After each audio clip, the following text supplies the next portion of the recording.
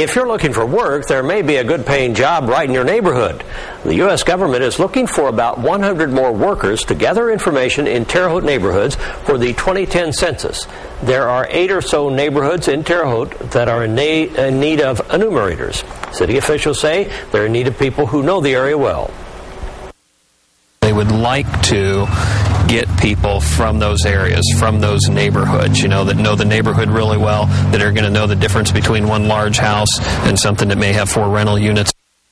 If you're interested in a local census job, they're taking applications this week.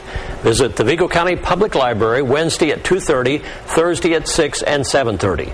Then again on Friday and Saturday 8:30 to 12:30 and 2:30. You must bring two forms of ID. We'll have all the information for you on our website or you can call 314 7430.